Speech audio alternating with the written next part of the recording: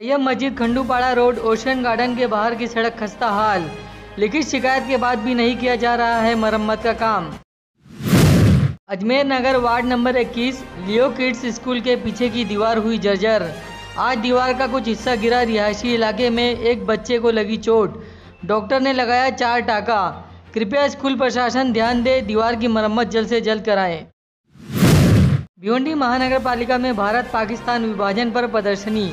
भारतीय स्वतंत्रता अमृत महोत्सव के तहत मनपा में भारत और पाकिस्तान के विभाजन के समय के मार्मिक चित्रों की प्रदर्शनी का आयोजन किया गया। इस प्रदर्शनी का उद्घाटन भिवंडी मनपा आयुक्त विजय कुमार महसार ने किया। भिवंडी राशन कार्यालय में छोटे छोटे कामों के लिए दो से चार महीना दौड़ाए जाने का मामला जारी। लिखित शिकायत भी स्वीकार करने से किया जा रहा है मना। शिकायतकर्ता को खाली हाथ लौटाने की हो रही है कोशिश। हर घर तिरंगा अभियान को कामयाब बनाने के लिए टोरेंट पावर कंपनी ने महानगर पालिका को दिया छब्बीस हज़ार तिरंगा। केरल के मलप्पुरम में एक शख्स ने रास्ते में विधायक के सामने पानी से भरे गड्ढे में नहाकर और योगा करके एक अनोखे ही अंदाज में खड्डों का किया विरोध।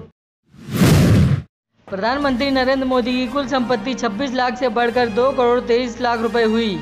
प्रधानमंत्री के पास 31 मार्च 2022 की स्थिति के अनुसार कुल नकद राशि पैंतीस हज़ार दो सौ पचास रुपये है और पोस्ट ऑफ़िस में नब्बे लाख पाँच हज़ार एक सौ पाँच रुपये के नेशनल सेविंग सर्टिफिकेट्स और एक लाख नवासी हज़ार तीन सौ पाँच रुपये की जीवन बीमा की पॉलिसी है।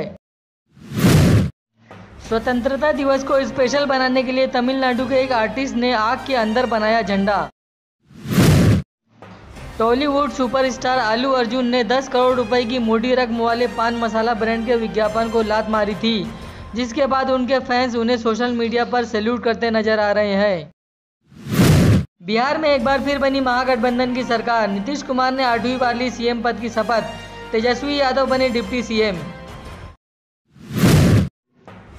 स्वतंत्र देव सिंह के इस्तीफा देने के बाद deputy CM Keshav Prasad Maurya UP Vidhan Parishad के नेता सदन बनाए गए। राशन के साथ तिरंगा खरीदने का दबाव बनाने वाला PDS vendor suspend Varun Gandhi ने किया था ट्वीट। आपको बता दें कि हरियाणा के करनाल में तिरंगा खरीदे बगैर राशन न देने का मामला आया था सामने।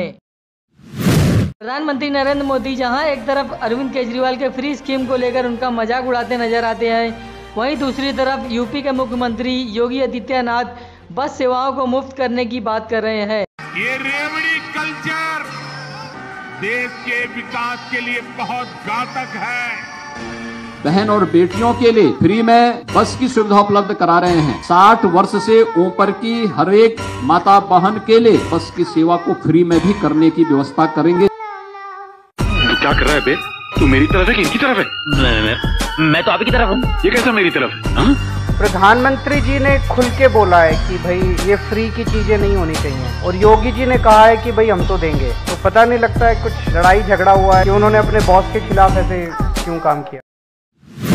आकाश चोपड़ा ने एशिया कप के लिए चुनी गई भारतीय टीम में मोहम्मद शमी को न चुने जाने पर उठाए सवाल। अंबानी की तरह ही अडानी को भी मिली जेड प्लस सिक्योरिटी। अब तैतीस जवान रहेंगे तैनात, सारा खर्च खुद उठाएँगे अडानी। आपको आज का मिरर हेडलाइन कैसा लगा? कमेंट बॉक्स में हमें ज़रूर बताएँ। अगर आप भी कर रहे हैं किसी तरह की समस्या का सामना तो हमसे संपर्क करें, क्योंकि भिवंडी मिरर जनता से जुड़ी समस्याओं को दिखाने के लिए किसी भी तरह का कोई चार्ज नहीं लेता।